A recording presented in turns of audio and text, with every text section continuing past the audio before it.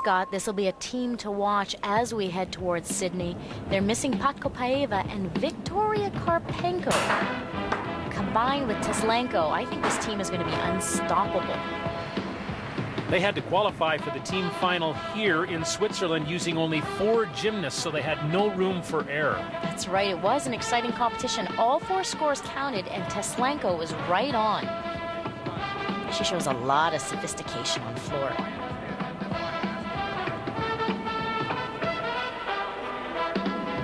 When this team marched in, they looked like mini Podkopaevas. They have very similar qualities to Lilia.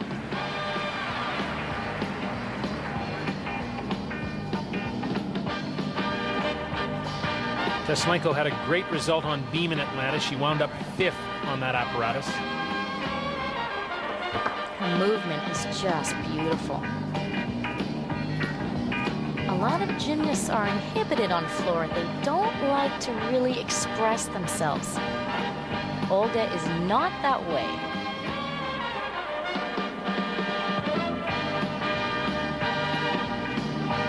The moment is now to focus on the last tumbling line. The legs are starting to fatigue a little bit, but the triple twist is right on.